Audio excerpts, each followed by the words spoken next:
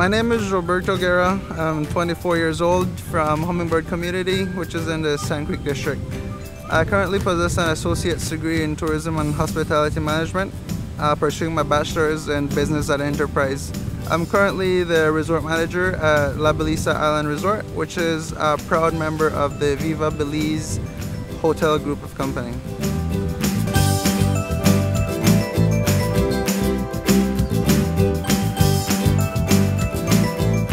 I started off the tourism industry working uh, with Mr. Carlos Cuellar and his catering company. We would visit, you know, a lot of resorts uh, to do like private functions and events, and I re then realized that you know it was something I really wanted to do.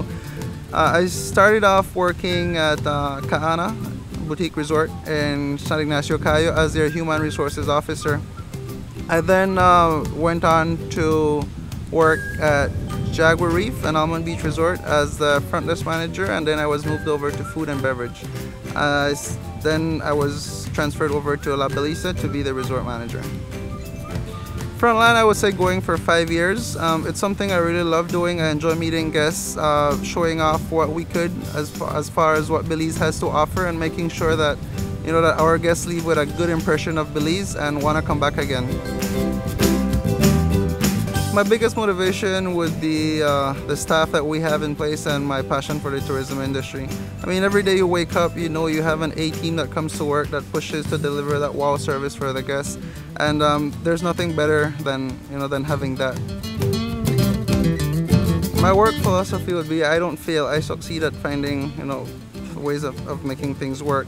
Every every day we, we are faced with uh, challenges and we can't just you know look the guests and tell them sorry there's nothing we could do. But we got to find ways to solving problems and making sure that you know a solution is, is reached. So the key to my success would be patience and dedication. Uh, you, we gotta have a lot of patience because we deal with you know all types of customers but at the, at the same time we have this level of service that we need to provide to our guests so no matter what type of guests we are faced with, we need to make sure you know that we have the patience to deal with each and every one of them, and also dedication because you know the long hours that you put in, uh, you got to be very dedicated, you know, to give your all to this industry.